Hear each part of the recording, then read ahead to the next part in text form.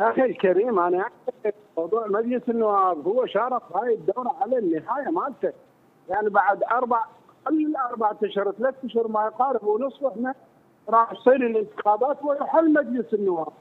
فبالتالي أنا أعتقد اليوم موضوع الاستجوابات ما زال استجوابات لأنه ما أعضاء مجلس النواب ما يحضرون الجلسات، شلون يصير استجواب لأي وزير أو لأي جهة؟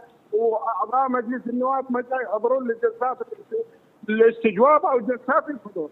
يمكن صار أكثر من ثلاث جلسات ما تحقق بها النصاب لذا أكثر الأخوة يقولون يابا بعد ما صارت جلسات لأنه أعضاء مجلس النواب متفقين على موضوع الانتخابات ولديهم فتن ولديهم جماهير ولديهم حملات انتخابية.